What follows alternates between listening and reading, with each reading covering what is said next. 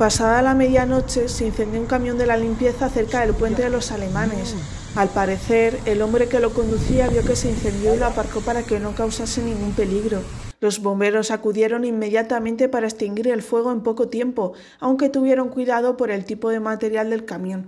A falta del informe sobre lo ocurrido, se cree que ha sido un fallo técnico del camión.